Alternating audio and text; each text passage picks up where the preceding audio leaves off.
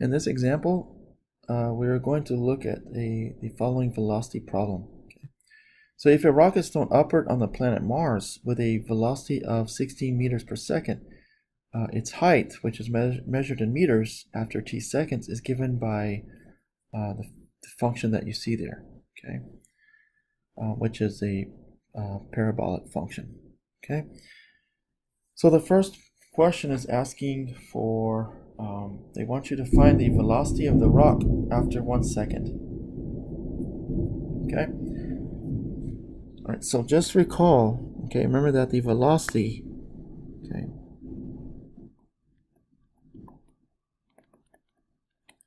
velocity function is the uh, first derivative.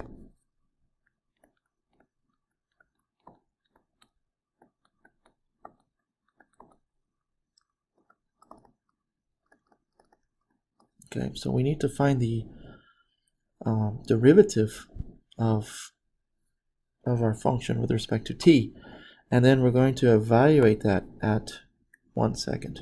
Okay, so h prime of t is going to be um, we're going to take the derivative of 16t, which is 16, and then minus uh, we uh, we have 1.86 t squared, so we can apply the power rule. So we're going to get minus 2 times 1.86 times t, and then subtract 2 from 1, so that leaves us with uh, t to the first power.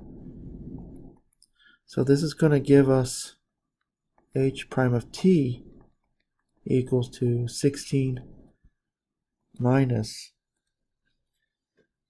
3.72 t. Okay, so that is the velocity function. Okay, all right, that's gonna. So we can go ahead now and evaluate this at one second. Okay, so h prime of 1 is going to be 16 minus 3.72 times 1.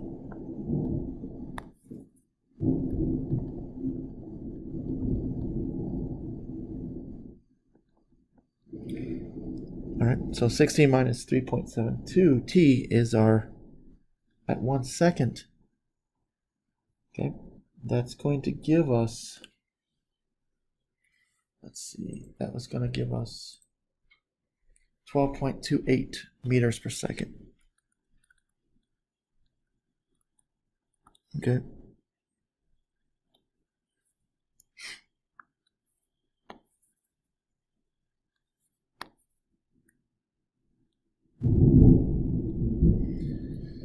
All right. Okay, so the next thing is that we need to find the velocity of the rock when t equals a. Okay, so a is just a constant. All right.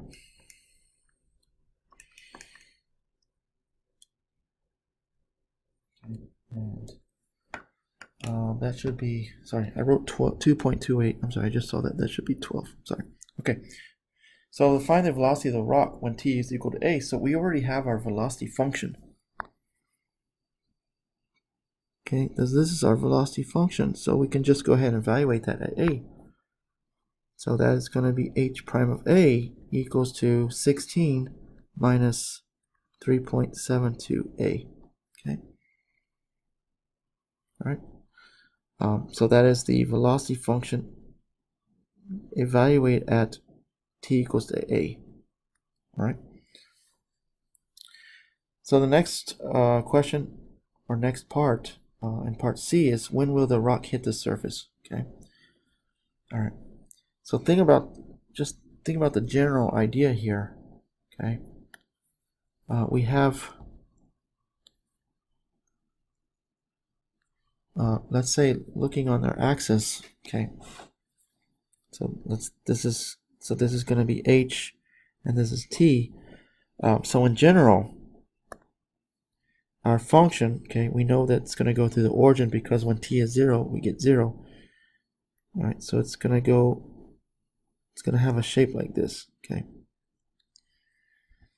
All right. Uh, we know it's going to be facing downward because if you remember from pre-calc, we have this is a quadratic with a negative, the negative in front of the t squared term. So that means it's going to be facing downward. Okay.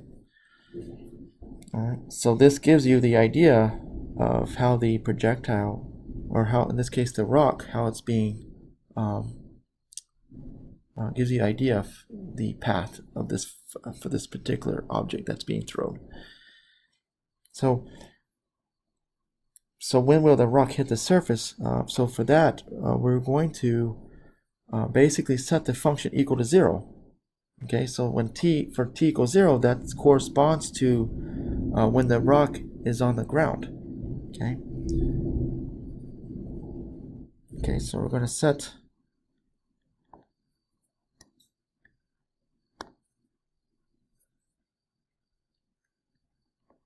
h of t equal to 0.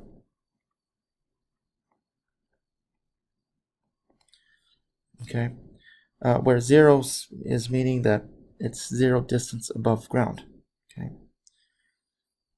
All right, so we have 16t minus 1.86 t squared.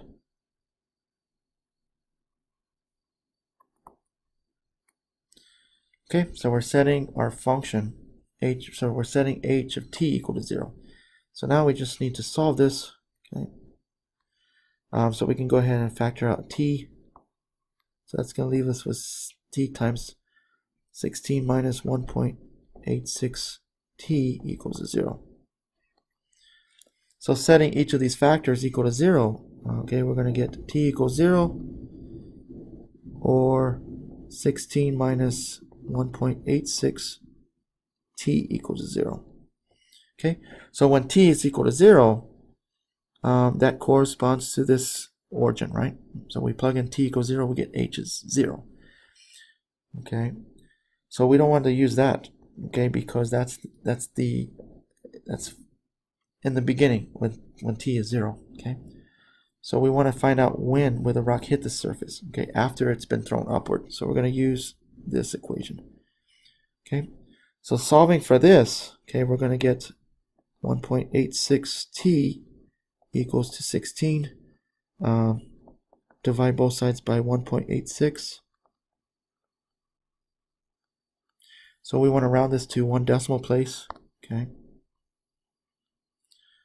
So this is going to give us approximately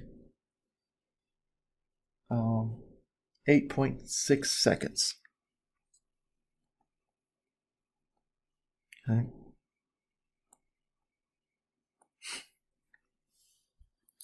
All right. So for the last part, uh, they want the uh, they want to find with what velocity will the rock hit the surface. Okay. All right. So we already have our velocity function, and we know from part C when the rock hits the surface. Okay. So it's gonna so the rock will hit the surface at 8.6 seconds. So what we can do is evaluate the velocity function at 8.6. Okay.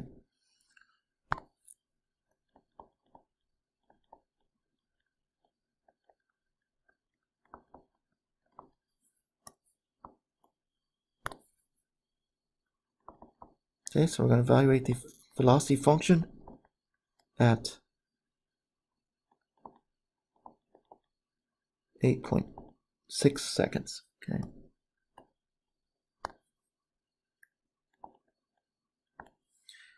All right, and so remember that we got 8.6 seconds from part C. Okay, so we're going to have h prime of 8.6. So that's going to give us 16 minus 3.72 times oops, times 8.6.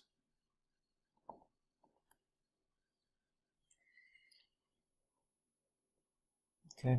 So that's going to give us approximately, um, so we end up getting, so we have 16 minus 3.72 times 8.6. All right, so we get, uh, we're going to get minus 15.992. Okay. All right. And that is in meters per second. Okay. All right.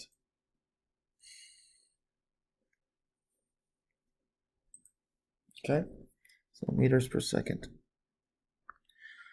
Okay, so again, the negative is indicating that the, um, in this case, the projectile or the rock is going uh, is going downward. Okay.